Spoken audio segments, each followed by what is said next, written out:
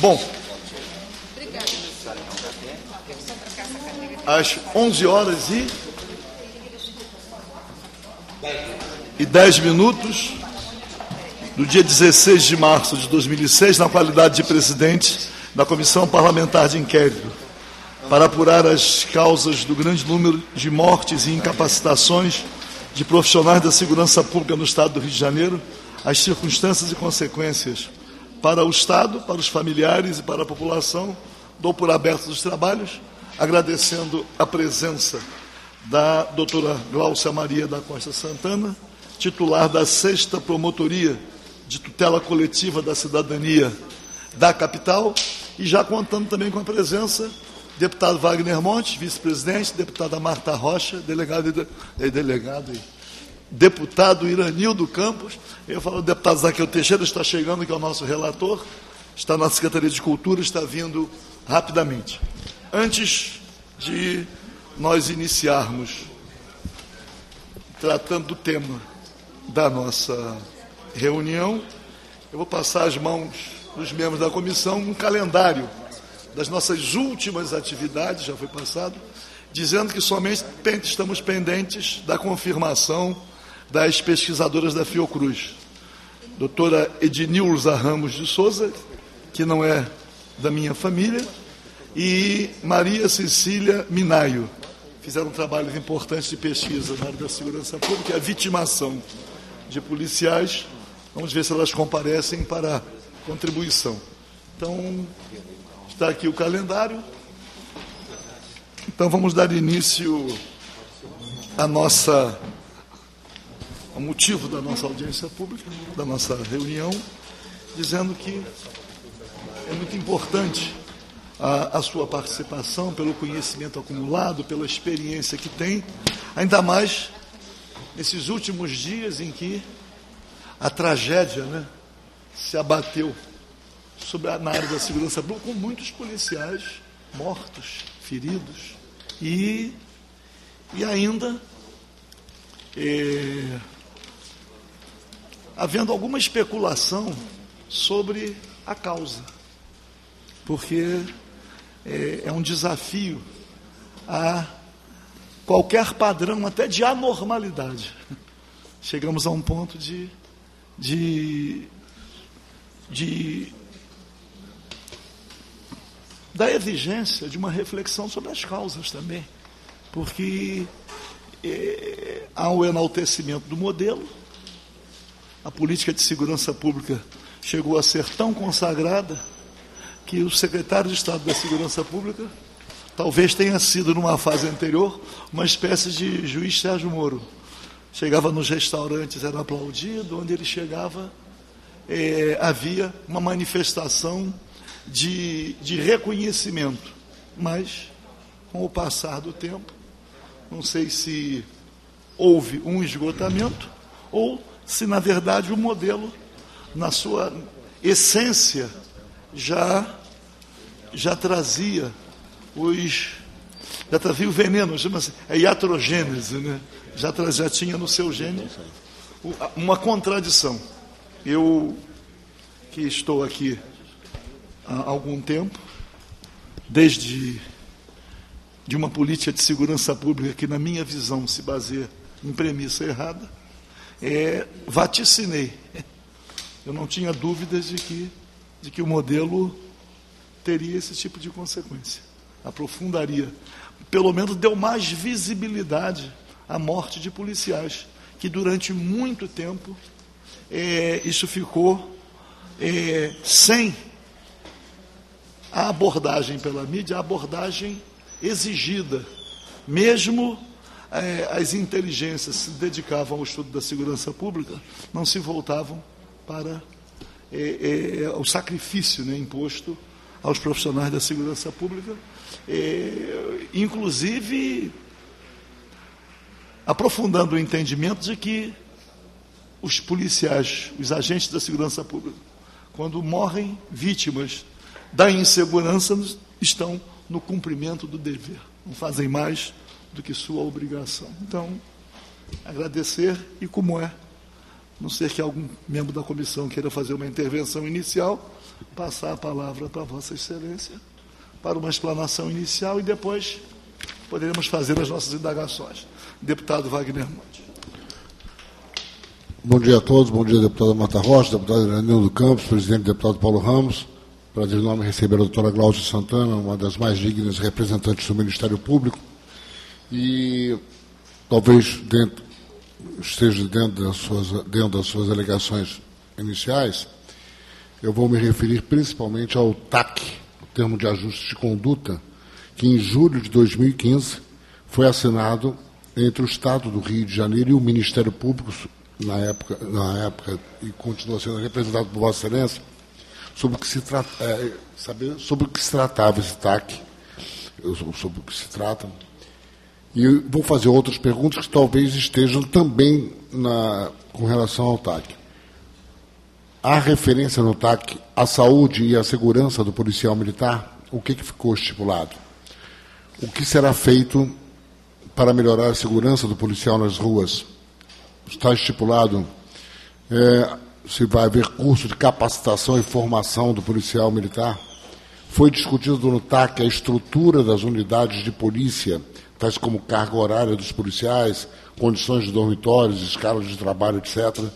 No TAC há referência às medidas de proteção contra o abuso de poder. Quer dizer, isso tudo dentro da pergunta do TAC. Depois, se a senhora tiver alguma dúvida, eu, eu refaço as perguntas. É o que eu tenho a falar, doutora Cláudia. Deputado Leandro Campos, deputada Marta Rocha. Ansiosa por ouvi-la. Apenas saudar, nossa, saudar o nosso presidente, nossos companheiros e dizer da nossa alegria de reencontrar a doutora Glaucia ansiosa por ouvi-la, só isso. Então, pelo menos pedir, colocar em votação a prorrogação dos nossos trabalhos para que possamos. Favorável. Aprovado. Aprovado. Todos de acordo. Então, para dar um intervalo, que o deputado Wagner Montes fez assim, né? Um, Tá, tá bom, mas vamos, vamos, é, não, foi, foi, longe demais, mas de qualquer maneira foi bom. Doutora Glaucia, por favor, agradecendo mais uma vez. Eu pensei que o deputado Fagner fosse elogiar ah. a doutora Glaucia, ah. não fazer elogio. Muito obrigada. É, é, senhor presidente é, dessa CPI e digníssimos é, integrantes, deputados, representantes né, da sociedade, é uma alegria estar aqui, é minha primeira oportunidade nessa casa é, para falar deste assunto que me é tão caro e sobre o qual é, eu já me debruço e me dedico desde 2013. É, eu, eu, quero fazer só um histórico de como tudo isso começou e fazer uma explanação abordando as, os questionamentos do deputado Wagner Montes.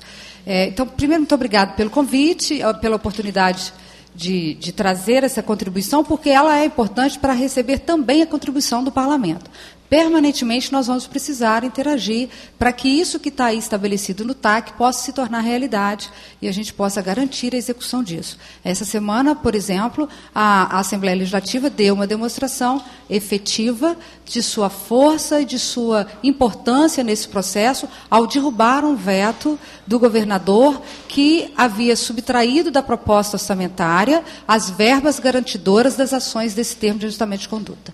Bom, lá em 2013 nós recebemos uma avalanche de ouvidorias através do sistema do Ministério Público, eh, de queixas generalizadas, vinda especialmente de policiais militares que estavam no front com todo tipo de sofrimento. Eles reclamavam desde carga horária até as condições de trabalho.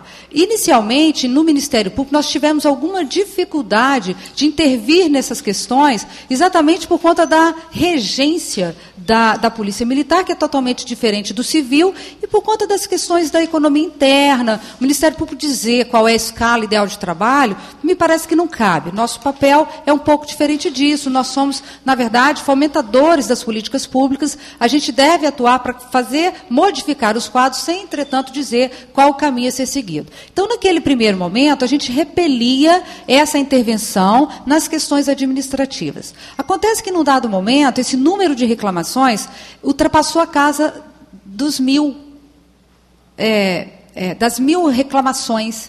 Eu achei que aquilo podia representar um, um, um, um grito de, de, de, socorro, né? uma solicitação de intervenção, porque a, a categoria não tem uma representação sindical, não pode ter, não pode fazer greve, né? tem uma representação através de associações que nem sempre são ouvidas, né? carece às vezes de legitimidade, eles encontram muito eco aqui no parlamento, mas nas categorias profissionais, essas categorias não são é, muito bem é, é, ouvidas pelos poderes constituídos. Então, resolvi fazer uma visita a algumas unidades de polícia pacificadora, depois de ter feito um levantamento estatístico de onde elas se concentravam, de onde é que elas vinham, em sua maioria. Descobrimos que era no complexo da Penha, o outro lado do complexo do Alemão, né? e aí comecei a visitar. Eu ia a cada é, UPP, conversava com o policial, fui de surpresa em todas elas, as quatro UPPs daquele complexo, é, até, e aí eu ia conversando com o policial, subia, conversava com mais um no outro plano, onde tinha um outro container, até chegar às bases. Conversava com os policiais das bases e aí eu fui descobrindo que era causa, justa causa de intervenção imediata. Começamos então a instruir o inquérito civil, é, tentando traçar um diagnóstico. É, procurei a polícia militar, fui muito bem recebida, tive portas abertas e consegui toda a sorte de informações, porque eles também, o comando também entendia e queria uma ajuda que viesse de qualquer pessoa, que viesse de qualquer instituição, tamanha a precariedade de trabalho é, sobre, é, que eles estavam submetidos.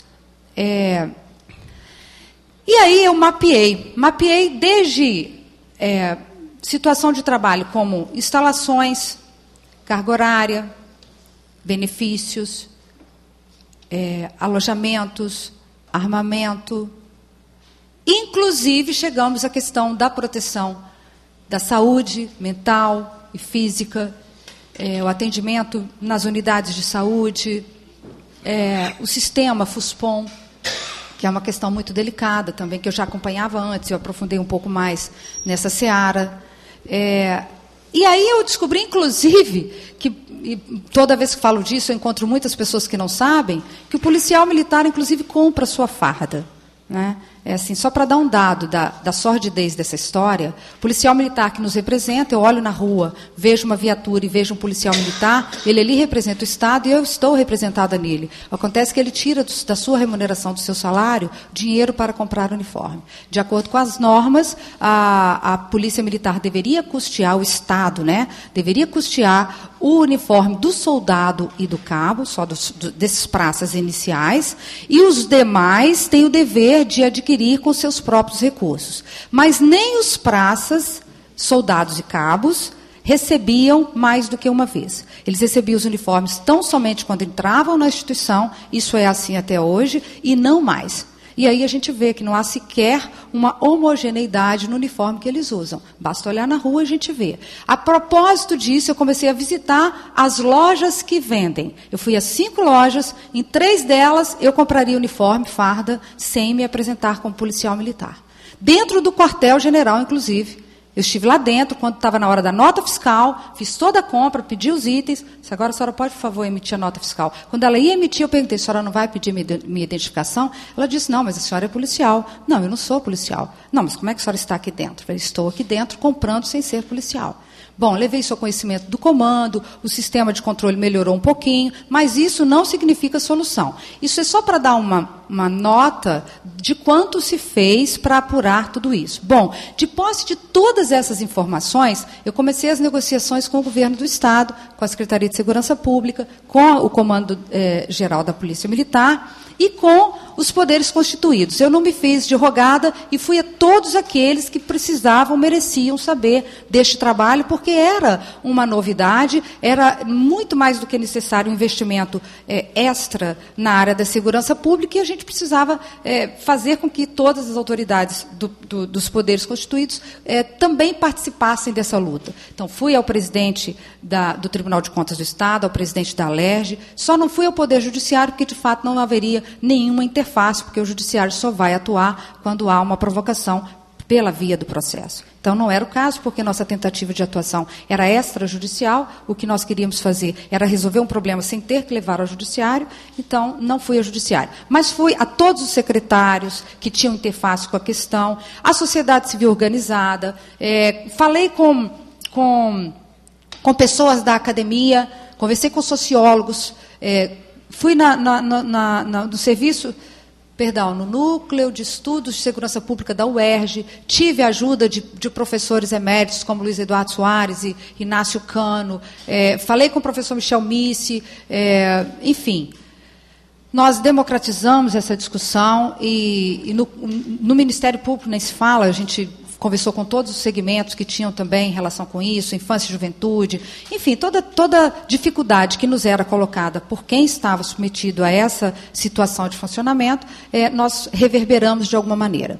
É, a negociação do TAC foi muito delicada, porque havia um desejo claro, é, espontâneo, do governador em firmá-lo, mas havia dificuldade financeira, que já se apresentava no primeiro semestre do ano passado. Então, havia um, uma, um documento escrito da Secretaria de Planejamento de que não assinassem o TAC porque não tinha condições eh, com aquilo que nós pedíamos é, de ser cumprido nos anos que a gente propunha. Então, houve muita negociação, houve muita é, renúncia a um modelo inicial desse termo de ajustamento de conduta que acabou sendo firmado, ainda que com subtrações que seriam importantes para a polícia, com algum resultado prático e alguma importância no avanço que nós não podemos subestimar. É, inicialmente nós pedimos 6 bilhões de reais para a gente desenvolver todas essas ações. O TAC acabou sendo formado com 4 bilhões de reais de recursos extra para aplicação nessas ações aí previstas. E no curso da, das negociações, uma condição que a Procuradoria-Geral do Estado fez ao Ministério Público era de inclusão de uma cláusula que protegesse o governador em caso de crise econômica. Na verdade, a gente já vivia a crise, não tínhamos domínio sobre ela, e o Ministério Público não, não se fez jogado também é, cedeu, né, um, um, um, um, pacto dessa envergadura, ele, ele exige sessão de parte a parte. Nós, nós cedemos onde foi possível para que a gente tivesse isso que aqui existe e ao longo de seis anos a gente agora desenvolvesse medidas para torná-lo viável, verdadeiro, crível. É, o governador assinou, é, mesmo contra a vontade dos seus assessores que informavam o risco, e o Ministério Público assumiu o compromisso de entender a crise e trabalhar durante a crise para que isso se torne verdade. Então, é, eu hoje olho para esse trabalho e vejo que, ainda que estejamos num momento difícil é, no governo do Estado, nós temos um instrumento que orienta, de alguma forma, a política de segurança pública no que toca com a ação da Polícia Militar, e que cabe a nós todos agora é, nos unirmos, né, cada, um, cada instituição com o seu papel, para colaborar para que isso vire realidade. No curso desse trabalho também me veio solicitação de desenvolver essa mesma é, tratativa com a Polícia Civil, apurar todas as condições da Polícia Civil e também buscar um ajustamento de conduta, um investimento extra na Polícia Civil. Isso já está sendo feito. Né? Não, não, não foi possível trabalhar em paralelo com as duas instituições, porque foi casuístico. Eu acabei é, me, me inteirando desse assunto dessa forma que eu relatei aqui pelas ouvidorias do MP, e na Polícia Civil a gente não recebeu essa quantidade de, de reclamações, embora a gente saiba que a necessidade era premente. Então foi um caminho inverso. A Polícia Civil, eu quis criar, provoquei a situação e eu fui buscar os dados, estou instruindo o inquérito civil para este fim e é, espero quero crer que será possível também trabalhar para fechar o sistema de segurança pública, eh, não apenas com a questão da polícia militar. É, firmado o TAC, veio a crise expressa. Né? Então, nós estamos. No, e, e houve também um cronograma de desembolso paulatino, já considerando a crise no primeiro semestre de 2015, com a, o investimento neste ano 2016 de apenas 200 milhões de reais. E isso vai ser, está aí na cláusula, eu estou trazendo uma, uma cópia do TAC para deixar, embora eu já tenha enviado para alguns, não é?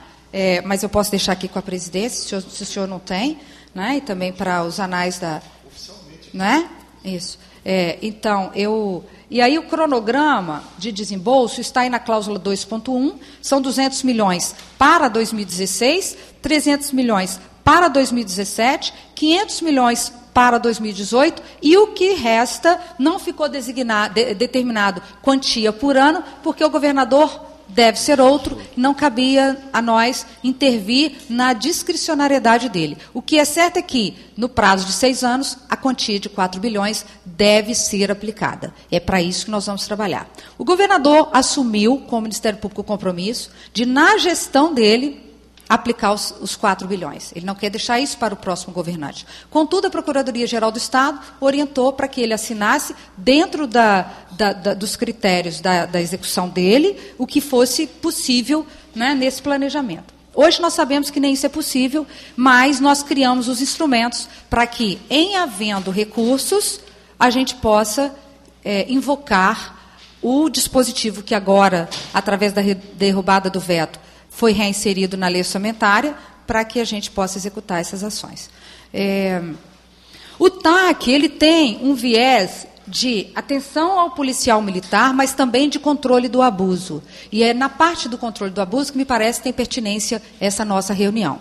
Eu, aproveitando agora que é, estou falando aqui na Leste pela primeira vez do TAC, eu, eu torno público é, algo que eu farei oficialmente junto com a Comissão de Segurança Pública, é, por ocasião da, da, da, assinatura do TAC, nós incluímos nesse, nesse termo a criação de um grupo de atuação especial em segurança pública. Isso foi um compromisso que o Ministério Público assumiu de, de se dedicar um pouco mais, com exclusividade, através de um grupo de promotores, a essa questão.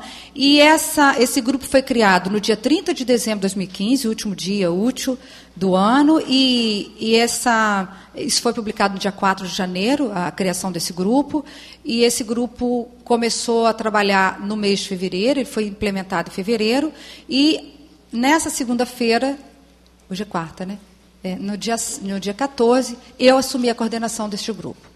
Então, me afastei da minha promotoria de justiça para me dedicar exclusivamente a essa questão da segurança pública no nosso Estado. Então, me tornei a coordenadora e venho pedir uma agenda com a Comissão de Segurança para fazer essa apresentação, mas não posso perder a oportunidade de já me apresentar aqui como integrante de um grupo que pretende desenvolver esses trabalhos na área da segurança pública que vão para além da Polícia Militar. Vamos continuar cuidando da Polícia Civil e tem uma novidade, que é uma novidade que só o Estado do Rio de Janeiro incluiu nessa atuação do controle externo da atividade policial, que é a contemplação também do controle do sistema prisional. Então, nós vamos cuidar também do sistema prisional. O desafio é imenso, né? a gente tem muito a fazer pela frente. Sabemos que, que é, não é uma tarefa simples, mas estamos com fé e energia para qualquer passo que possa ser dado no sentido da melhoria dessas condições. Quem vai nos agradecer é a sociedade. E aí, voltando para o TAC novamente, qual foi o viés que nós adotamos? É, o primeiro viés de dar condições à Polícia Militar, condições melhores de trabalho, e o segundo viés de controlar os abusos. Então, dentro do TAC, Logo em seguida, a criação desse grupo de atuação especial em segurança pública, nós criamos um capítulo de contenção do abuso e da força letal. Nós temos, de um lado, o policial militar subjugado a uma situação onde ele não tem arma decente, onde ele tem que comprar o próprio uniforme, onde ele não tem alojamento para ele descansar, quando ele tem uma escala de trabalho que é inevitável, ganha, mal remunerado. E, do outro lado, nós temos esse policial é, criticado pela sociedade que não conhece esta face. Né? É, conhece pouco. Toda vez que eu falo sobre isso, eu observo quanto é necessário mostrar que o nosso policial militar é, na verdade, um herói. Mas ele também comete erros. E nós chegamos a, a uma conclusão de que esses erros decorrem de falta de capacitação. Então, a capacitação já está sendo implementada. Há muitas questões aqui no TAC que não dependem de recursos e só dependem de gestão. O que depende de gestão já vem sendo trabalhado através dessa, dessa inter-relação entre o Ministério Público diretamente com a Polícia Militar. Tem um grupo de policiais que integra uma comissão que interagem comigo online, full time e a gente se reúne com muita frequência. Então, a gente tem avançado. Em capacitação, por exemplo, posso dizer que já avançamos muito. Até o currículo, a grade curricular da, da, do treinamento inicial do curso de formação dos policiais já contempla ações do TAC.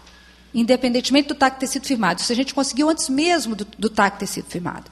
Então, estamos trabalhando nisso, estamos trabalhando com as escalas de trabalho, estamos trabalhando com com o conforto do policial, que tem uma escala de 24 horas, ele sim precisa de conforto, porque ele, dentro dessas 24 horas, ele precisa descansar 8 horas, e ele não tem onde dormir, e aí ele improvisa um alojamento, e aí ele fica em condição indigna, né? e aí ele fica com a sua saúde mental afetada. Então, nós estamos, estamos, trabalhando em todos esses segmentos, em todos esses setores, com a ajuda da Secretaria de Segurança Pública, também com as suas subsecretarias, enfim. E na parte que toca aqui com a, com a CPI, é, a gente está começando agora um trabalho é, de, de controle dos autos de resistência. Nós tivemos reunião é, na tarde de ontem com o chefe de Polícia Civil.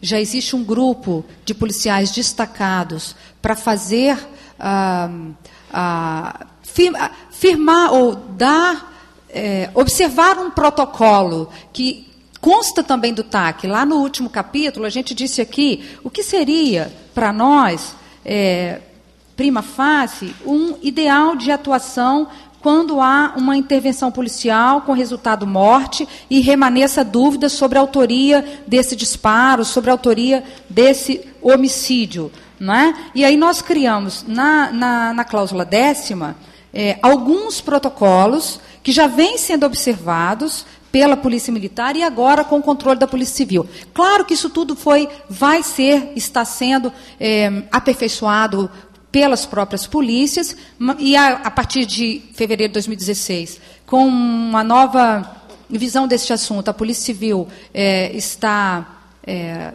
deslocando para as delegacias de homicídio a, a apuração dessas, dos crimes né, decorrentes de intervenção policial, perdão, das mortes, dos crimes não, nós não sabemos se é crime, das mortes decorrentes de ação policial, e o Ministério Público, através do GAESP, agora com, começa a integrar também esse grupo. Nós vamos trabalhar em três frentes, em três é, caminhos, vamos trabalhar daqui para frente com a Polícia Civil, dentro dessa nova estrutura, esse novo protocolo, que por si só já vai ser, vai ter um caráter pedagógico importantíssimo, vai diminuir né, a ação contra o cidadão ou, ou o erro na, nessa, nessa atividade tão delicada que é prestar o serviço de segurança pública.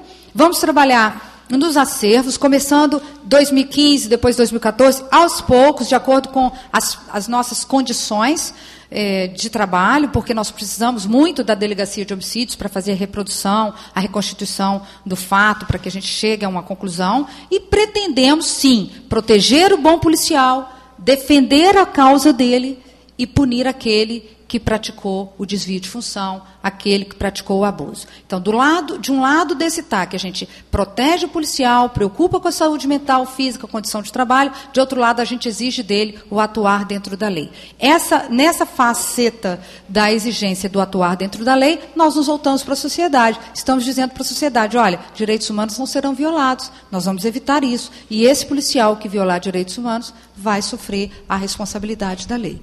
É nessa área, nessa, nessa, lógica que nós pretendemos atuar.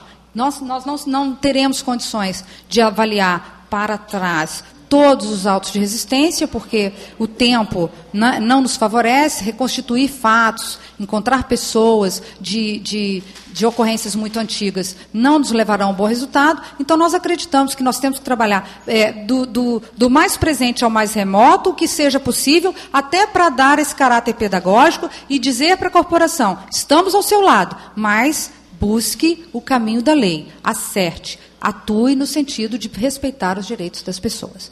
Eu acho que essa exposição inicial pode servir para agora eu me submeter às perguntas, a não ser que os senhores prefiram que eu continue falando. Eu já falo muito, acho melhor. Presidente, questão de ordem. Deputado Iranildo Campos. Senhora promotora, doutora Glaucia Maria, fiquei muito satisfeito. Conheço a senhora de nome hoje, que tive o prazer de conhecer pessoalmente foi oportuna as suas explicações, as suas colocações, muito importante. Mas durante toda a, a sua fala, eu anotei algumas coisas aqui que eu queria tirar essas dúvidas, que é muito importante para todos nós aqui. Primeiro dizer que a Assembleia hoje, né, hoje não, com a criação dessa CPI, hoje aqui tem a CPI que, que vê o, o auto de resistência devido a um fato ou alguns fatos que aconteceram no ano passado. Policial, foi filmado tal, o bandido lá no morro, aí botaram, não, vamos direitos humanos, vamos fazer o, a CPI dos autos de resistência. E, nessa ocasião, o nosso companheiro, nosso amigo, deputado Paulo Ramos, achou oportuno também abrir uma CPI sobre a morte de policiais. Porque o que, que vem de mais jornal? Não é a morte de policiais, é justamente a morte do bandido. E principalmente quando alguma coisa é errado. Então, esse trabalho, desse termo de ajuste de conduta que o Ministério Público está fazendo através da senhora, é muito importante para nos sinalizar e para nos orientar e para, para o nosso conhecimento, mas é importante também que a sociedade tome conhecimento disso. Esse trabalho que a senhora vem fazendo com seus companheiros e com a sua assessoria. Por exemplo, a senhora falou muito pouco da formação profissional. A senhora falou agora no final da capacitação. A formação profissional, a capacitação, para mim, seja policial civil ou militar, até porque eu sou militar, seria muito importante, é aí que está a morte de muitos policiais, que nós, quando eu digo nós, é todo o poder, todos os poderes, que não atenta para isso, é a formação profissionais, no lado psicológico e no lado de capacitação. Cefap, a senhora falou no QG, dá uma visita no Cefap que é importante a senhora ver a formação, a senhora vai ver quantos erros tem hoje nessa formação. Na academia de polícia também, é a formação é equivocada. Contanto que o secretário de segurança chegou o momento dele falar assim, ó, não, eu tenho que botar o, o BOP lá para ensinar os policiais da UPP. Que eles não estavam preparados. E não estão preparados para isso, por isso que vem morrendo. Que o crime não se combate só com tiro e porrada. O crime se combate com inteligência e com ressocialização daquelas famílias que não tiveram chance na vida. O outro ponto que eu quero citar para a senhora, que seria importante dentro desse ataque. O bandido, ele trocou tiro com a polícia, o que ele fizer, ele tem condições, ele tem recurso, bota um advogado. O PM ou policial civil, o que ganha hoje com a sua família, ele tem dificuldade de moradia, que não pode morar em qualquer lugar, não tem condições de comprar casa. Não, não. Antigamente, eu acho que teve até uma época aí que teve um, um projeto que o policial militar, o policial civil, tinha uma condição de comprar casa. Hoje não tem. Né? Aí, o policial, ele troca tiro, ele prende, ele faz o que for. Se no, no, no, alto, no, no flagrante, na delegacia, o, o que for, ele está sozinho. Ele não tem um assessoramento jurídico nenhum. Essa é uma realidade. E depois, quando ele responde por qualquer procedimento, ele tem que colocar do bolso dele, com o recurso dele, um advogado para se defender. A gente vê dezenas, centenas de casos aí de policiais civil ou militar. É, o atendimento da saúde. É importante isso também, pra, né, na moradia. Então, hoje se fala muito no auto de resistência, mas o auto de resistência é para o policial. Teria que ter um outro nome do auto de resistência quando o policial morre.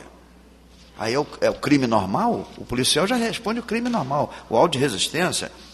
E eu pergunto à senhora, que a senhora talvez não é, não, de repente não está na alçada da, de Vossa Excelência, mas a senhora pode dizer para nós aqui alguma coisinha sobre isso, que a senhora, de repente, as informações da senhora são mais concretas e mais é, recentes do que a nossa. Como está a punição dos responsáveis ou dos possíveis responsáveis do, do policial que veio a falecer no Cefap, do aluno que veio, veio devido a exercícios no sol e tudo, veio a falecer. Como está isso? Acabou o assunto. Como está é, essa, é, o andamento, se for possível, assim, o, o meu nobre colega deputado presidente Paulo Ramos, também falar alguma coisa sobre esse envolvimento de oficiais nessa, nessa, nesse desvio de medicação, de, de coisas na, no, na polícia militar. Essas coisas, às vezes, não, não tem, uma, tem uma repercussão de imediato na imprensa, mas depois as coisas vão se esque, sendo esquecidas e abafadas, e nós precisamos de repente, nos engrandecer com essas informações, se for possível, de repente não é da alçada de Vossa Excelência. Então, me dou por satisfeito, se for possível a senhora fazer algum esclarecimento do que eu falei, não tem problema.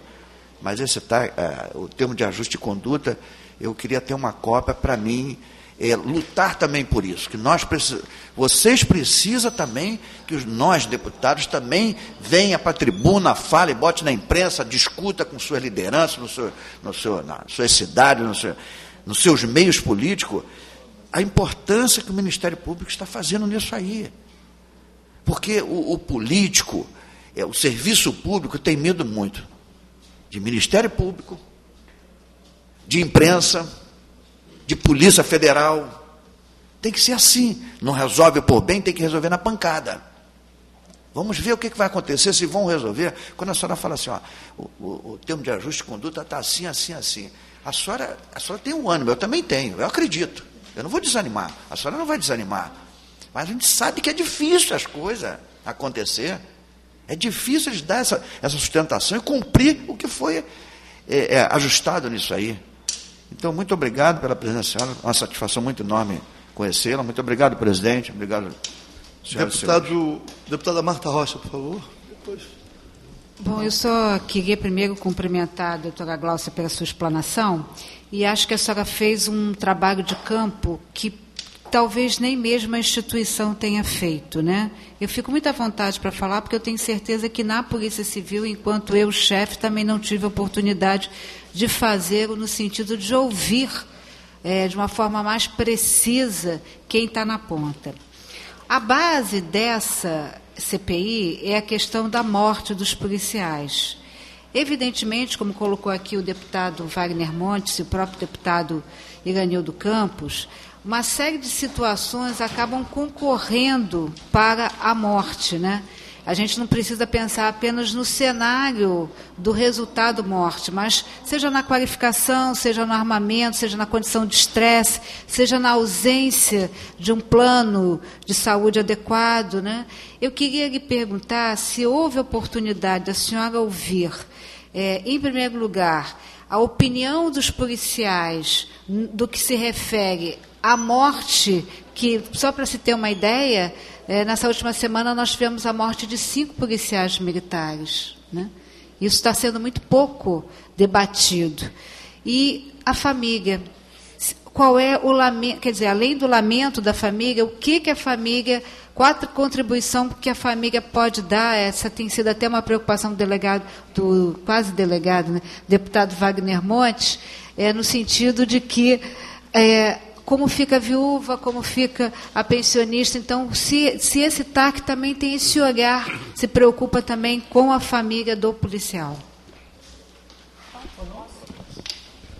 Bom, obrigada pelas colocações. Eu quero dizer, desde logo, que, embora eu compreenda que há esse conjunto de ações que favorecem a atividade policial, que o protege, que busca melhores condições, vá colaborar para diminuir o resultado morte do policial em atividade, eu também quero dizer que eu recebo como uma demanda nova, na qualidade de coordenadora do GAESP, essa atuação. É algo que eu vou passar a olhar diferente, já vindo aqui, tomando conhecimento dessa, desse viés da CPI. Mas, assim, entendo que dentro do TAC, de alguma forma, a gente vai contemplar é, a, a, a, essa demanda na medida em que esse policial tem a sua saúde preservada, a sua capacitação efetivada. Muitos, muitas mortes acontecem por erro de atuação. Eu conversei com policiais militares, por exemplo, que me contaram que foram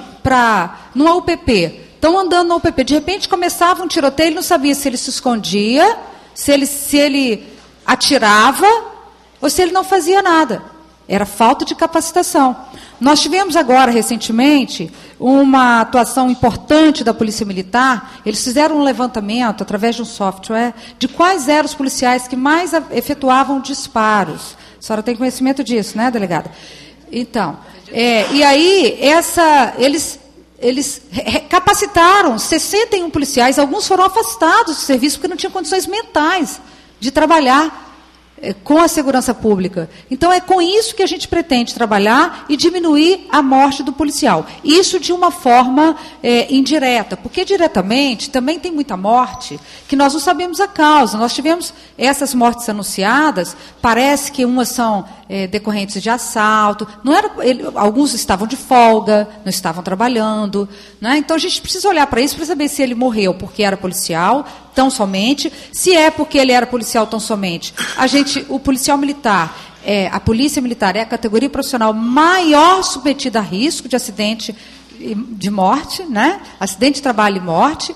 Para isso a gente tem trabalhado com a criação de alguns, alguns, alguns programas que visam a, a, a buscar a, a fiscalizar esse ambiente de trabalho, a diminuir o risco de acidente de trabalho mesmo, dentro das normas que qualquer trabalhador é, se submete, de proteção e de prevenção, a gente está trabalhando é, dentro da Polícia Militar. Agora, tudo nesse momento esbarra na questão das condições financeiras. O que é possível ser feito está sendo feito com sacrifício humano, inclusive dos próprios oficiais de saúde que estão tentando fazer, é, é, é desenvolver programas pontuais. Eles vão a, um determinado setor e tentam é, levantar as condições de trabalho e melhorar, mas eu tenho, inclusive, a equipe, o número de policiais e de profissionais de saúde que seriam necessários para cada uma dessas intervenções em favor é, do, da corporação. Não é simples de resolver. Em matéria de pessoal, por exemplo, é, eu, eu desenvolvi um estudo e já apresentei à época ao secretário de governo Paulo Melo. É, agora eu estou aguardando uma agenda com o secretário Monerá o governador já até autorizou a instauração de um procedimento que visa a contratação temporária de profissionais de saúde para atendimento do FUSPOM. A ideia é que esses profissionais, uma vez contratados, desenvolvam esses programas de prevenção do risco, de diminuição do risco. Agora, esse olhar para a família é algo que eu vou me ater a partir de agora. Não foi objeto, nós não tivemos. É, é, dentro do nosso escopo essa, esse questionamento. É uma questão que merece atenção, sim. Agora, nós olhamos para a questão do benefício alimentação, do benefício transporte. A, a, política de moradia, por exemplo, não está contemplada aqui, mas nós precisamos pensar em buscar com as instituições financiamento público, porque esse policial mora mal mesmo. Nós fizemos um levantamento, eles estão concentradamente na região de São Gonçalo e na zona oeste da cidade do Rio de Janeiro. Né? Você não encontra os policiais militares morando em Zona Sul, esse índice é baixíssimo, né? eles estão concentradamente na Zona Oeste e na região de São Gonçalo, ou seja, né? e na Baixada. Então, assim, é muito delicado, a gente precisa sim olhar para isso e, e, enfim, desenvolver políticas públicas nesse segmento. Presidente, se me permitir, Doutora Glaucia, algo que me angustia profundamente, aqui eu trago uma reflexão, gostaria de ouvir, é porque quando a gente vai fazer a depuração da estatística lamentável da morte de policiais, e aí a gente tem um número X, e aí a gente trabalha, as instituições trabalham com outro número, dizendo assim: olha, esse número aqui morreu em folga. E a sensação que eu fico, eu não sei se os nossos deputados têm esse sentimento, é como se nós não fôssemos responsáveis pela morte daqueles policiais. Né? Ou que assim, não, eles morreram porque eles são. Isso é muito pouco. Então, eu acho, eu estou aqui trazendo uma aflição que eu tenho enquanto profissional de segurança pública, que eu, eu entendo o seguinte, que é, tem que ter dentro desse novo estudo, já que esse grupo foi criado, que a gente olhe o policial como inteiro, como um ser permanente. O fato dele ter sido morto fora do serviço em razão de um assalto, ou como recentemente, o simples fato dele ter sido identificado fez com que um jovem fosse assassinado no Rio Comprido, isso tem uma causa, isso é um efeito de uma situação de uma causa anterior. Então a gente tem que, tem que também, no meu modo de ver, buscar ações para impactar isso diretamente. Então, eu fico muito angustiada. Ah, mas eles, estavam em folga. Ah, eu já ouvi, inclusive, de, de autoridades da segurança, o policial em folga tem que se despir da situação de policial. Coitado do policial que, na folga da missão brigada, coitado do policial, seja civil ou militar, coitado não é uma palavra que a gente deve usar, mas se o policial civil ou militar, na sua folga, não intervir diante de uma situação que leve à indicação da prática de um delito, ele vai responder pela sua omissão. Então, eu acho que a gente tem que buscar também um caminho para que a gente possa, de uma forma orgânica e sistemática, é, pensar um pouco do risco desse policial. É só apenas uma reflexão. Muito bem colocado. Eu acredito que é, quando a gente está falando na causa pretérita, a gente está falando de segurança pública em geral, né? Então afeta o policial, afeta qualquer cidadão. Né? Os, nós tivemos mortes de médicos saindo, né? Do, a, também assassinados. É, é uma questão ampla que nós devemos realmente ter atenção. Agora, especialmente para o policial militar, há esse trabalho que pode ser aprimorado, e eu aceito a provocação na qualidade de coordenadora para tentar é, buscar caminhos juntos. A gente aceita também sugestões, por isso é importante que o parlamento é, pense as, as políticas públicas ou aquilo que, dentro da experiência do parlamento, se detectou como necessário, seja enviado para esse grupo, para a gente buscar os caminhos de negociação, de, enfim, de implementação. Mas, de fato, é, eu, quando eu faço essa colocação de que o policial que está sendo assassinado de folga, ele, ele, está sendo assassinado na qualidade policial militar ou na qualidade de cidadão? Qual, não, importa, não importa a condição, ele precisa da nossa atenção.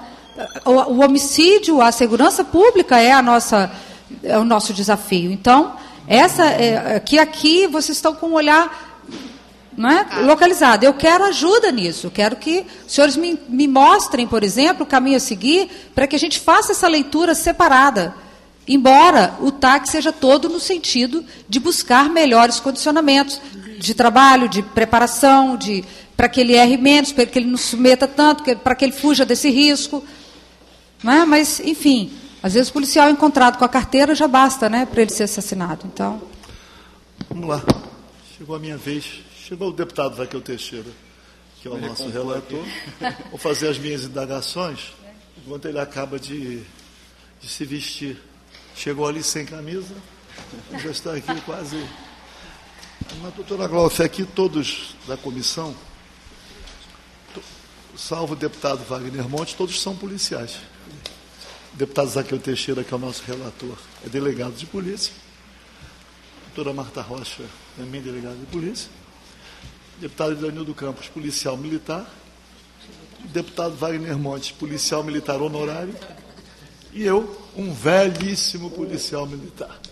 Então já convivo com essas questões há mais de 50 anos.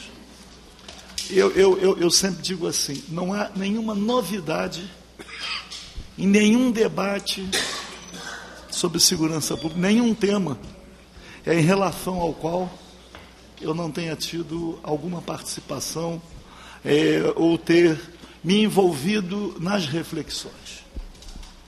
E, e eu percebo que sempre, por mais que haja um esforço, as pessoas caem no mesmo núcleo de, para a concepção das políticas públicas, abandonando a essência. Então, dizer que os policiais militares e policiais civis têm entidades representativas. Que, na verdade, embora ao policial militar seja proibida a sindicalização e a greve, mas tem a representação. Que na minha época, quando no serviço ativo, funcionava como sindicato mesmo. Chegamos a ser alvo de uma ação judicial para que fosse retirado do estatuto é, é, é, o dispositivo que defender os interesses do quadro social e da classe. E ganhamos na justiça isso lá na época quando chamávamos clubes de oficiais. Então, existe. As entidades sindicais estão desprestigiadas pela própria categoria. Elas perderam o protagonismo. E isto causa um vazio muito grande porque é, não, não há uma, uma expressão coletiva daquilo que, que repercute é, sobre os representados é, em relação a tudo isso. é, as denúncias sobre as condições de trabalho, elas são muitas, mas dependendo de quem denuncia. Dependendo de quem denuncia, tem repercussão. E é assim mesmo. Eu aprendi que uma boa ideia só terá consequência se o autor ou quem apresenta a ideia tiver uma inserção. Nós caímos aqui na espera, sempre são os mesmos sociólogos, são eles, são os mesmos sempre que são ouvidos, em todos os governos e em todas as políticas públicas. Dá uma, uma variação, não vou citar nomes, mas eu considero uma tragédia, porque a visão é sempre uma visão contra o policial. Mesmo com as melhores intenções, as voltas vão sendo dadas e aí chegamos aqui mesmo quando da explanação, as condições de trabalho, tudo em homenagem ao policial, a formação do policial. Mas na conclusão caminhou para o alto de resistência e não para a morte do policial. Quer dizer, na verdade, há uma, uma, uma indução cultural. Essa indução cultural faz com que sempre a vitimação do agente da segurança pública fique em segundo plano, sempre fica em segundo plano. E, e aí cai naquilo, é a formação, não é a formação. Eu fiquei no serviço ativo da Polícia Militar quase 22 anos. Eu não sei quantas vezes eu participei de debates sobre qual o currículo mínimo, qual o currículo qual o conhecimento, me assim, na reunião, qual o conhecimento que tem que ter um oficial de polícia militar? Conhecimento mínimo. O que tem que ter um sargento tem que ter um soldado. Mas nós tivemos isso numa fase. Eu, eu vou trazer aqui para o deputado Wagner Monte, nós tínhamos assim, o manual do recruta. Era o conhecimento mínimo que tinha que ter um soldado na formação. Tinha um manual. Então, a grande questão é que não tem nada a ver com a formação. Não tem nada a ver com a qualificação, que isso é buscado permanentemente. A grande questão está na política. E a política que tem que ser considerada é a política do confronto. Não existe formação nenhuma que possibilite uma atuação responsável em qualquer favela do Rio de Janeiro, se for uma ação repressiva. Não tem como. Só quem já participou é que conhece. Não tem possibilidade de não cometer erros. Não tem possibilidade de não cometer excessos. Pô. Não tem nenhuma possibilidade. Aqui, quem já participou, pode dizer: olha, um intrincado de vias, becos, uma correria, criança, cachorro, galinha, uma gritaria que ninguém imagina, mulher correndo para pegar filho, o policial atirando. E a gente vê na televisão. Atira, às vezes sem saber onde vai acertar. Fica atrás de uma parede, pá, pá, pá. Por quê?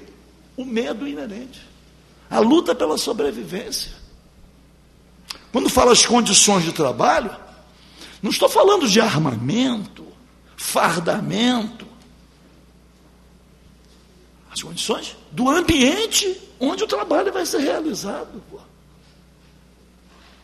Não é possível. Não é possível. Eu me lembro muitos anos atrás, nem falei isso. Uma vez numa operação policial, matei um cachorro. Olha, fiz um trabalho também, foi bater o cachorro, mataria uma pessoa. Olha Conheço casos os mais escabrosos. Mas eu quero me ater, eu aprendi uma coisa.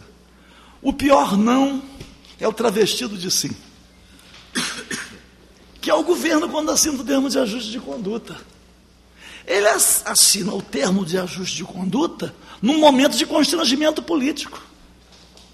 Mas ele não quer cumprir que a assistência ao policial, o policial não tem assistência nas questões mais elementares, a começar pela questão do uniforme, que está na lei. O uniforme é devido aos cabos e soldados. Existe uma periodicidade. Isto já houve controle, inclusive. Eu fico me lembrando, né? Que a gente tinha grade quando é que vence. O uniforme a dar outro. Antigamente que não tinha computador, era tudo na mão, né? Mas ainda é na grade. É, é, então, é dizer o seguinte: a gente anda na rua, vê às vezes o estado de indigência de um policial militar na sua apresentação pessoal.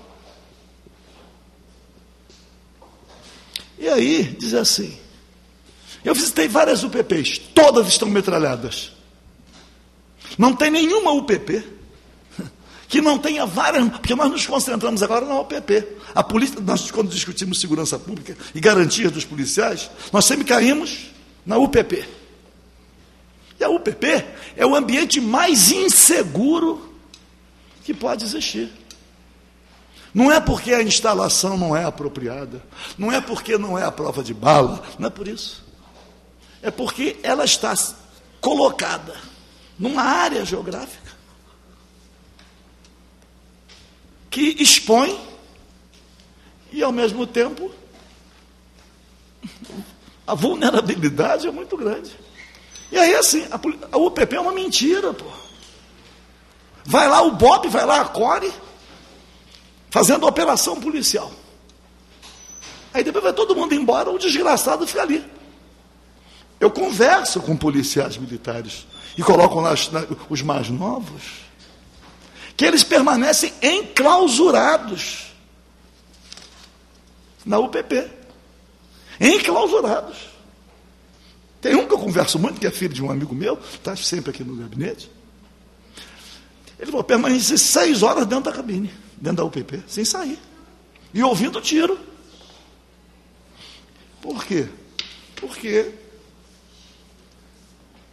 proclamaram o sucesso e agora não tem. É aquele do Vietnã, né? É, canta vitória e abandona o território. Cantaram vitória, não, não tem como manter a vitória, e não sabem como abandonar o território, como uma reformulação dessa política pública que ao longo dos últimos, nem sei, desde o do governo Marcelo Alencar, que essa política de segurança pública é baseada no confronto, na visão militar, da eliminação do inimigo. E isso ficou tão aprofundado que aí o inimigo definiu, percebeu também qual era o seu inimigo. O inimigo não é o Estado, o inimigo é o policial. Não pode andar com identidade, não pode andar fardado, não pode botar a roupa pendurada na corda. Não, o filho não pode dizer que o pai é policial, a vizinhança também não pode saber. Tudo ficando na expressão daquele psicólogo que veio aqui, em outra CPI, talvez, não sei se. Sofrimento mental.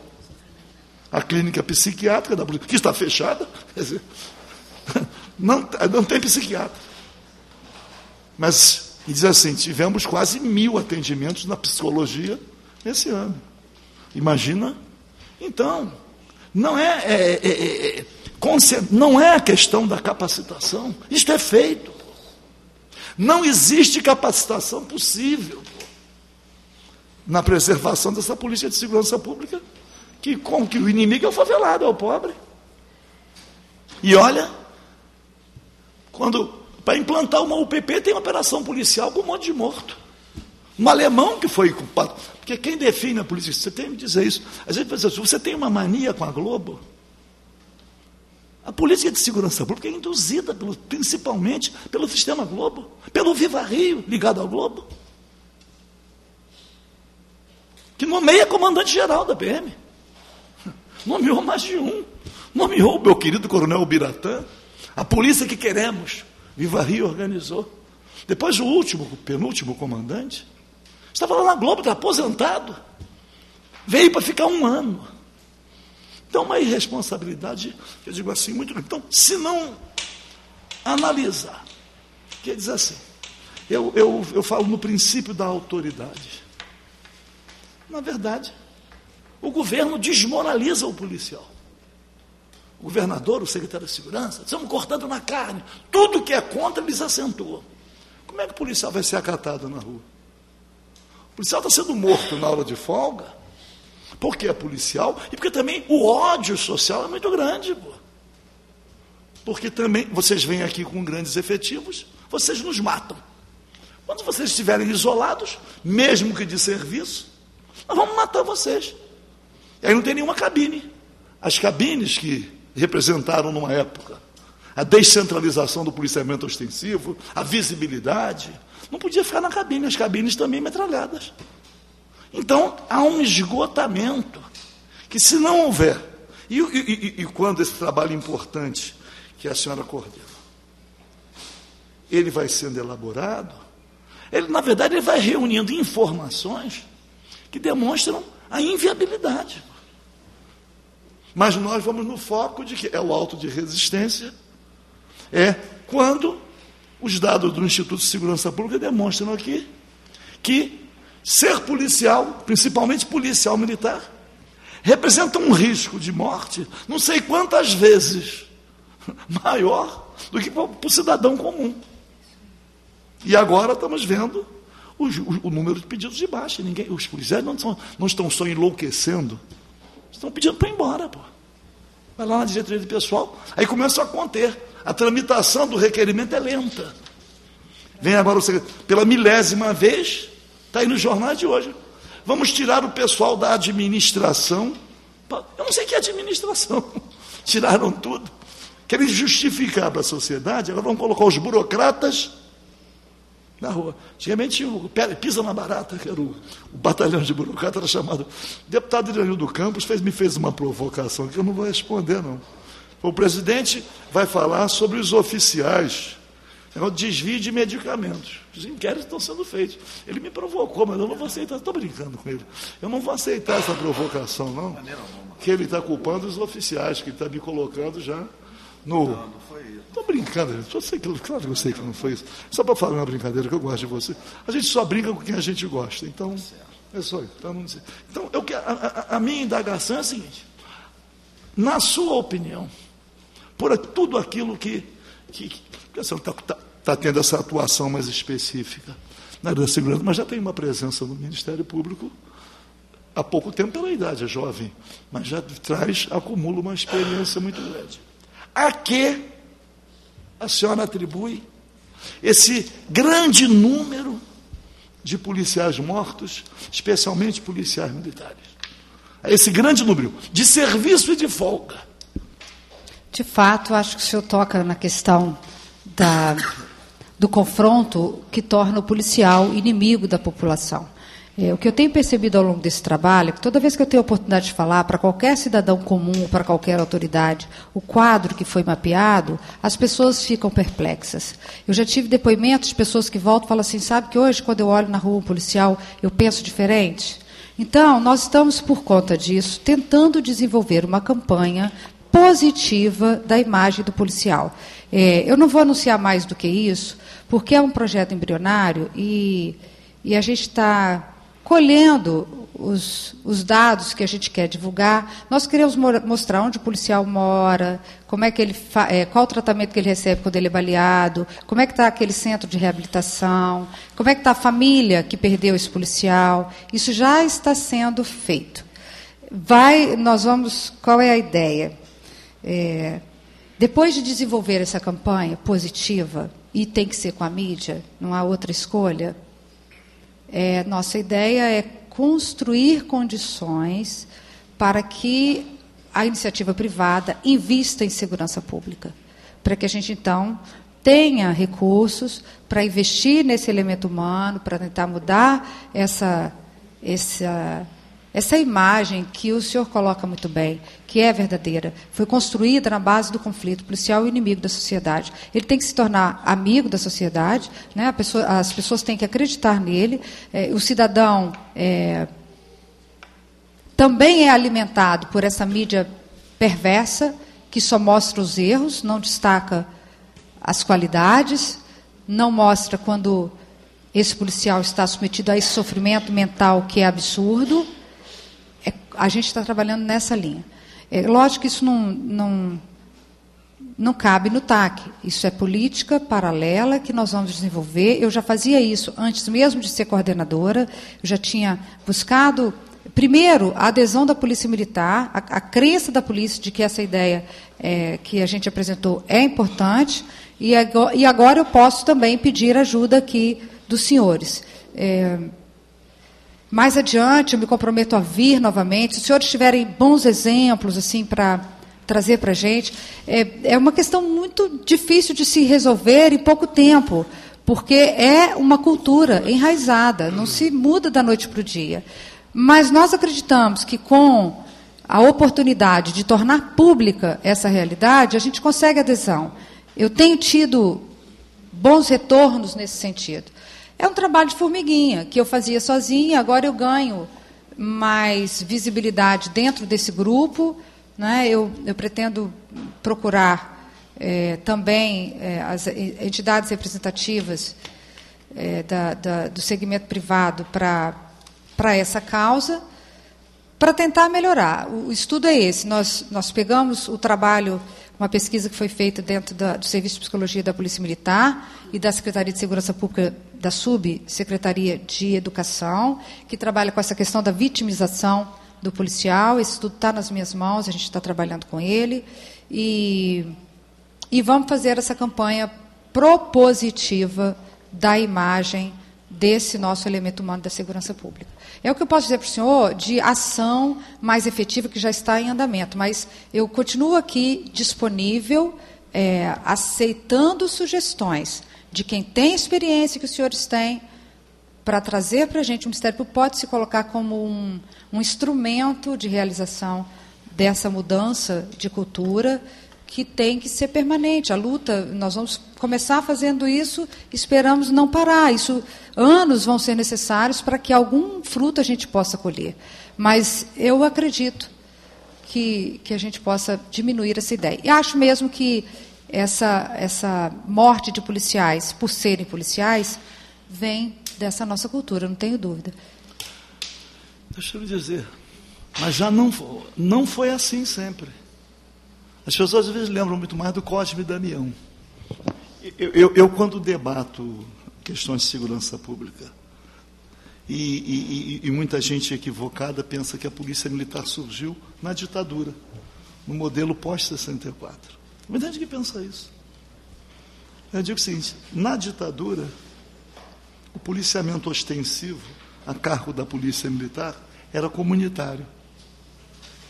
Foi na ditadura que a Polícia Militar recebeu a incumbência de ter o policiamento ostensivo normal sob sua responsabilidade exclusiva. E a polícia era comunitária.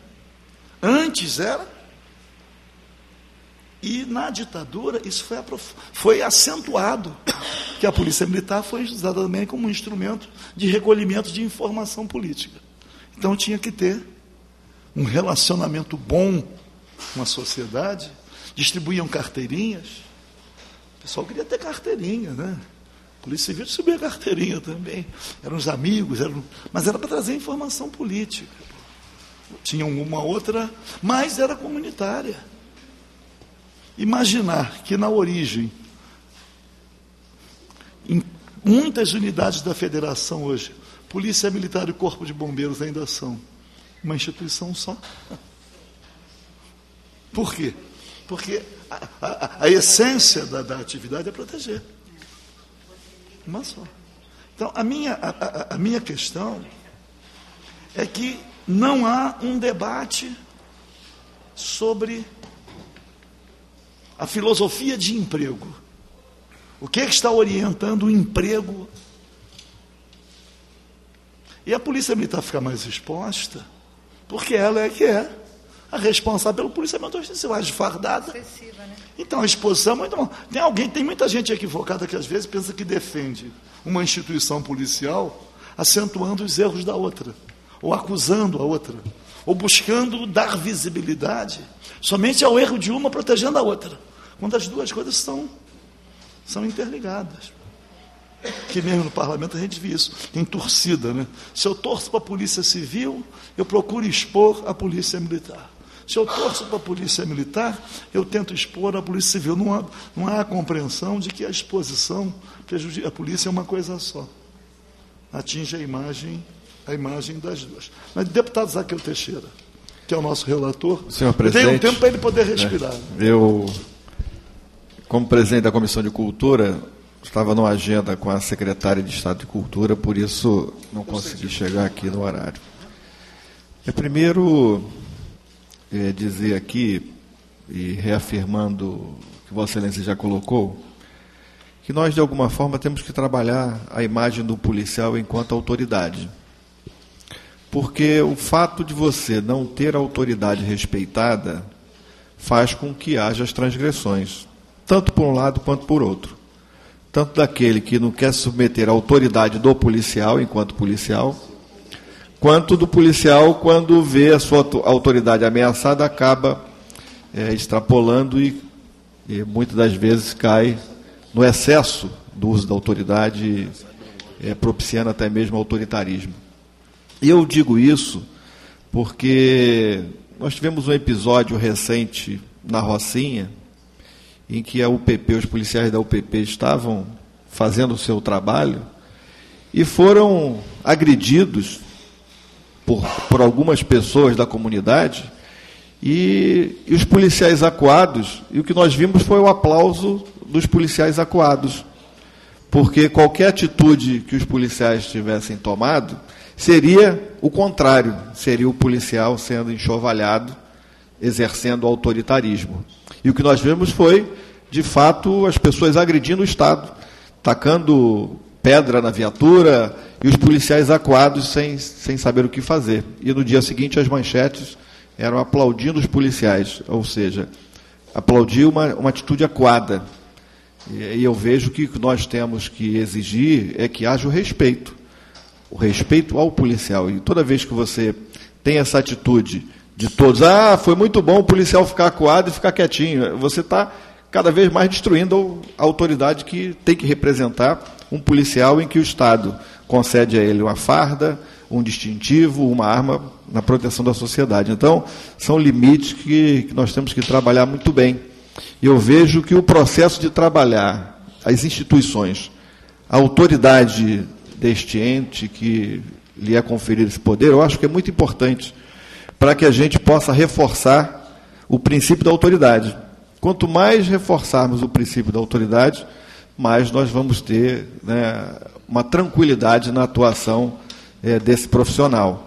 Então, é uma coisa que eu queria ressaltar aqui na comissão, que nós temos que ter, sim, um trabalho do resgate da autoestima do policial, é, de permitir que ele, enquanto policial, é uma autoridade delegada do Estado, e a ponta mais visível que nós temos é o policial, e que o princípio que nós temos é, e que presenciamos nos Estados Unidos, quando o policial manda parar, que todos param, nós temos que construir isso aqui, para que esse princípio possa permitir é, que o policial atue na proteção. Quanto mais você tem a descaracterização da autoridade, menos ele vai ter condições de te proteger, porque ele vai poder ser agredido a toda hora e a resposta vai ser sempre o excesso que o policial está cometendo. Então, o que será visto será sempre o excesso é, que o policial comete, não o princípio da autoridade que está, de alguma forma, sendo quebrado e violado. Eu, eu quero é, parabenizar o trabalho que, que Vossa Excelência faz no Ministério Público é, buscando, é, de fato, fazer com que o Ministério Público, enquanto custos légios, possa ajudar as instituições para que elas possam, de fato, é, olhar para esse ser humano, olhar para o policial enquanto ser humano, que é fruto da sociedade, que nós estamos podemos produzir ele melhor ou melhor, de acordo com o apoio que pudermos dar, para que ele possa desempenhar as suas funções. E fico preocupado, é, presidente, quando vem medidas legislativas e o anúncio de que algumas garantias que os policiais têm vão ser jogadas fora. O policial vai para a rua, enfrenta o crime organizado, muitos morrem. Ontem foram quatro, quatro ou cinco. Morrem por ser policial. E aí você tem um critério muito rígido para a concessão da pensão. A única coisa que ele pode deixar doando a sua vida é a pensão para a família. Como é que nós podemos é, diminuir é, o fato, não, ele só pode doar pensão por cinco anos, por dez anos, ele, é muito novo. Nós tivemos um policial que foi morto na UPP, um tenente, que acabou de entrar na Polícia Militar, era recém-casado, mas com regras novas de que, olha, como ele está na polícia há um ano, a, a, pensão dele só vai ser por cinco, por seis, por dez anos.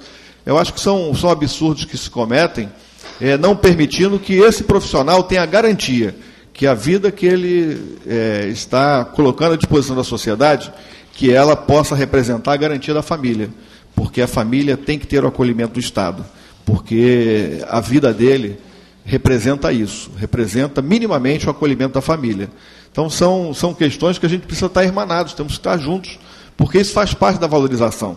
Faz parte do policial, ao sair de casa, ele saiba o seguinte: olha, se alguma coisa acontecer comigo, a minha família está protegida.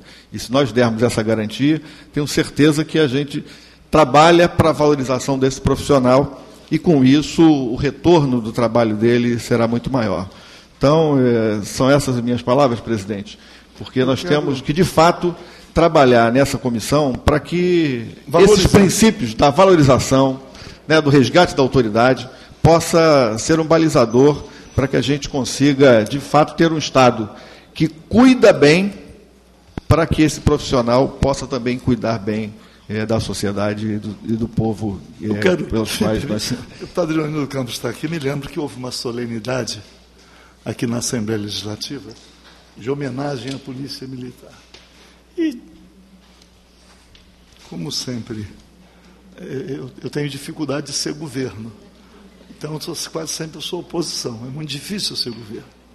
E eu me lembro que foi o deputado Iranildo Campos quem contornou a situação, porque eu usei da palavra e eu falei que a polícia militar, que o policial militar qualquer dia ia ser acusado é, de ser o responsável pelo aquecimento global.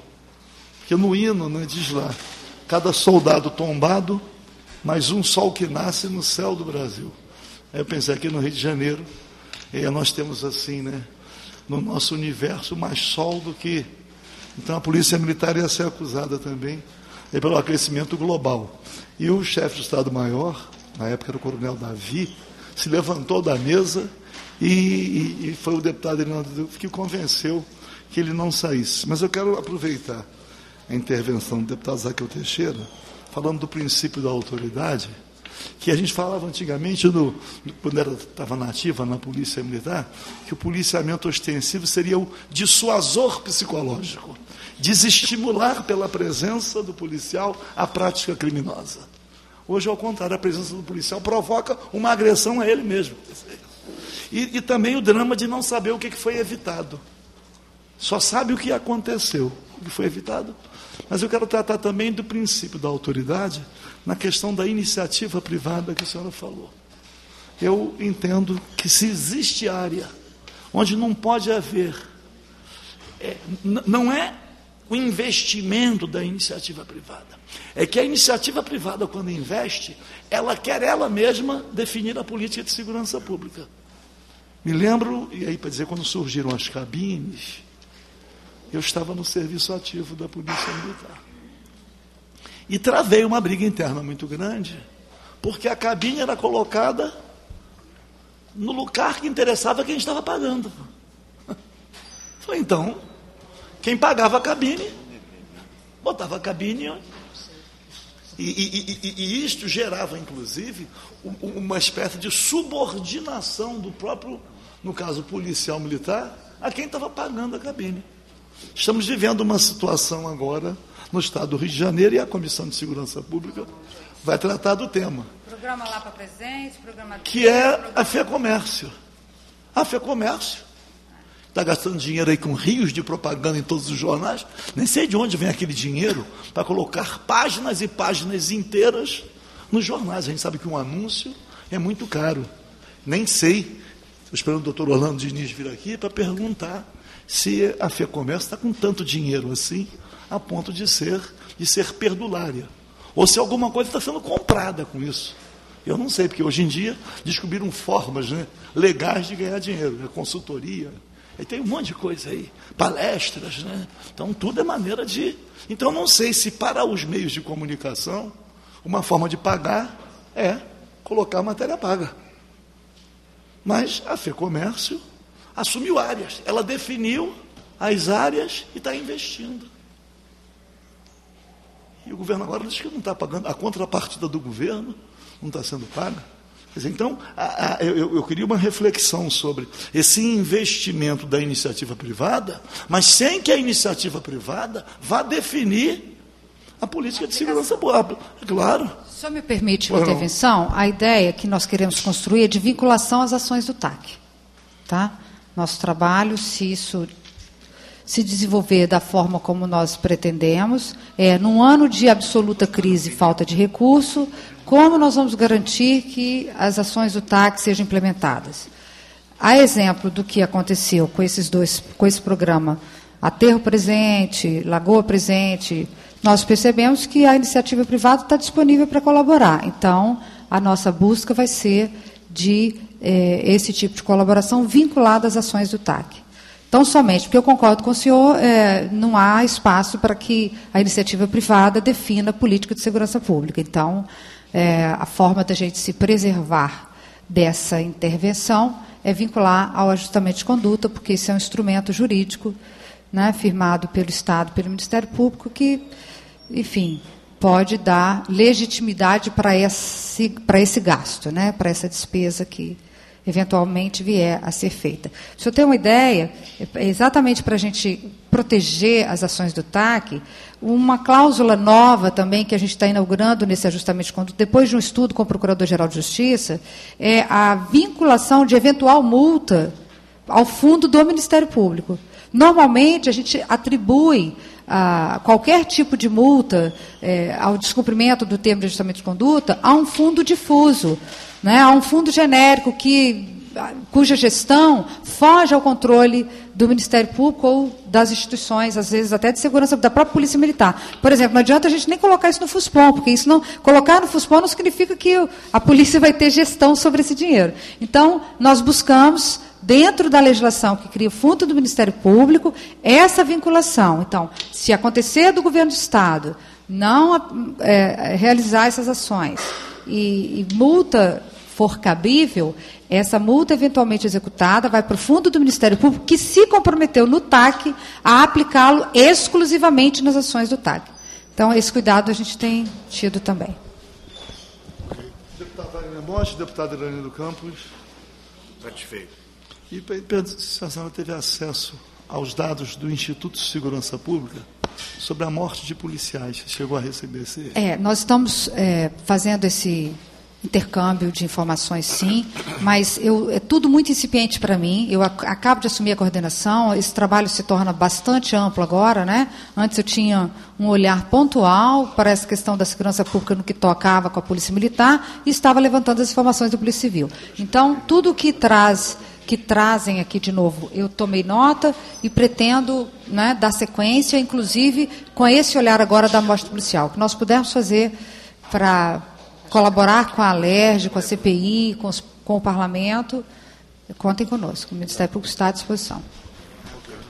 Primeiro, dizer que o pessoal fala que o Ministério Público é para acusar, ficamos felizes com o Ministério Público é, socorrendo né, os nossos companheiros policiais civis e militares, porque é sempre muito necessário né, que haja essa visão de, ao contrário, sempre são vistos como inimigos, como adversários, mas agora estão sendo vistos também como merecedores dessa atenção do Ministério Público. É bom acentuar isso. Porque se houver uma avaliação interna, o Ministério Público é visto pelos policiais como, como um adversário. E agora, a partir desse termo de ajuste de conduta, melhores condições de vida e de trabalho, tenho certeza absoluta de que é, é, é vai ser muito gratificante. Mas também sugerir que a senhora possa um dia também convocar é, os representantes das entidades. Claro. Para ouvi-los, porque. É, é, é, quando diz assim. Agora, eu ouvi ao longo do trabalho. Ah, então foi tão.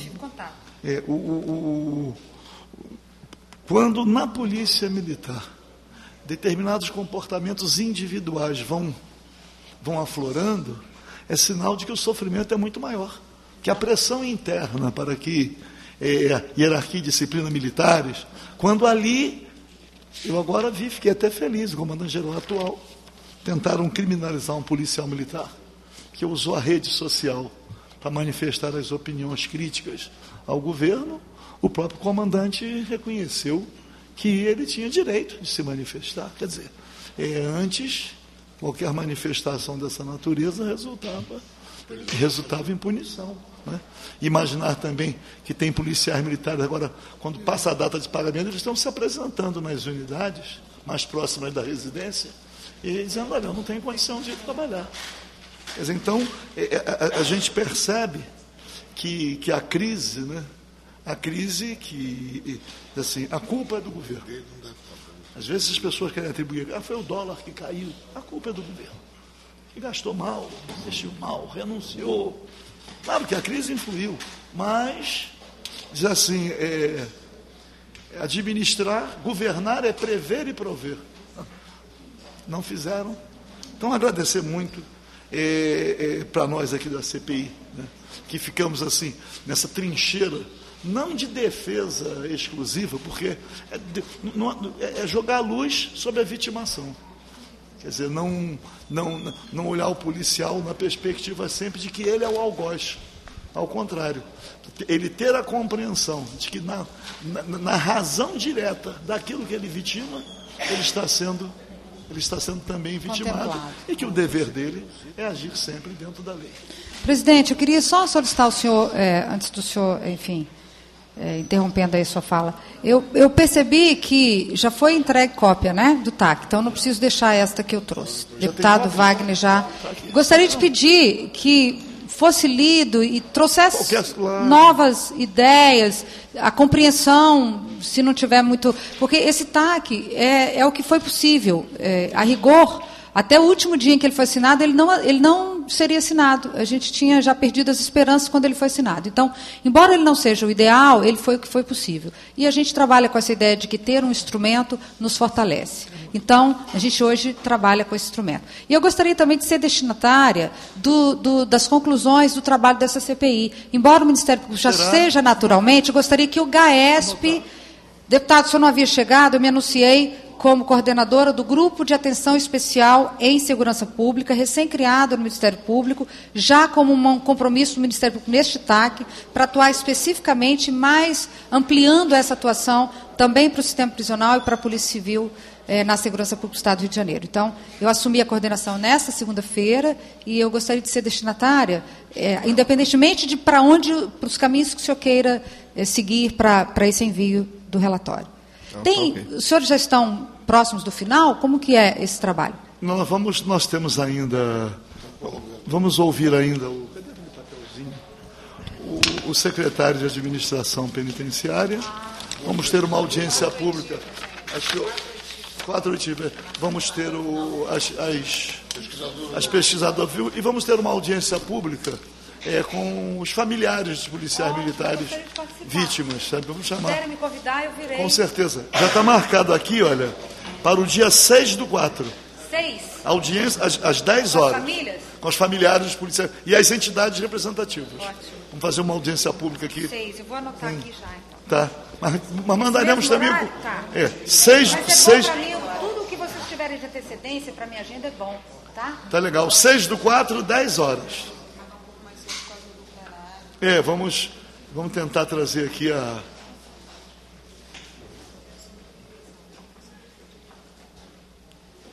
Desculpa, deputado, eu, eu não, entendi, não, não, registrei a hora. Que horas? 10 horas, 10 horas. Mas mandaremos o ofício também tá comunicando, bom. mas já fica. Não, mas eu quero bloquear. Bloquear. Porque o que vier. Dia 6 do 4, 10 horas. Tá então, agradecendo a presença da doutora Gláucia parabenizando pelo trabalho e, e, e na, na, naquela condição ainda remota né, de policial, ficar feliz com a iniciativa também. E desejar muita sorte e agradecer aos parlamentares da comissão. Vamos caminhar. Muito obrigado. Está encerrado. Vamos.